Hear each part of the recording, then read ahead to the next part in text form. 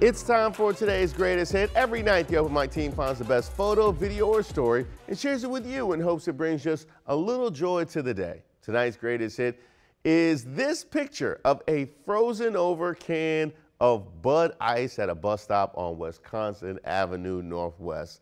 Bud Ice, huh? Somebody took that name literally. Somebody forgot about their beer and came back to a beer beersicle. The cold is no joke when Mother Nature is doing things to a drink that only happen when you put a can in the freezer and forget about it, which I may have done at every age in my 20s and my 30s and also my 40s. Maybe this is a good thing. Maybe somebody cracked that Bud Ice open, took a sip at the bus stop and thought, I can't do this. What am I doing with my life? And just left it there. This frozen abandoned beer could have been somebody's moment of clarity.